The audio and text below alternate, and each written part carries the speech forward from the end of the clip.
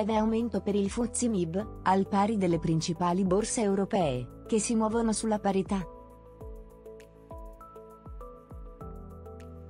Tra le migliori azioni italiane a grande capitalizzazione, in primo piano Telecom Italia, che mostra un forte aumento del 4,11%. I più forti ribassi si verificano su Banca MPS, che continua la seduta con meno 1,74%. Sul mercato delle materie prime, lieve aumento per l'oro, che mostra un rialzo dello 0,22%.